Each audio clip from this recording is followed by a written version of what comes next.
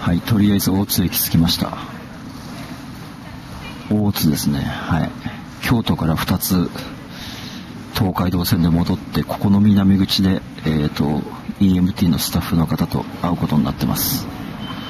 はい。東海道線がよくわからずに参りました。普段電車なんか乗んないんで。これ上に上がんのかな？さっぱりわかんない。